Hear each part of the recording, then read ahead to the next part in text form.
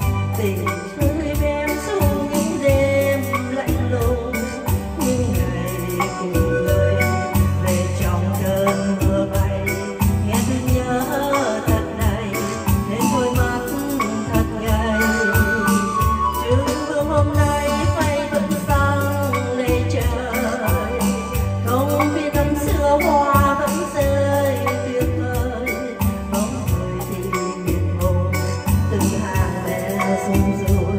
trong cơn gió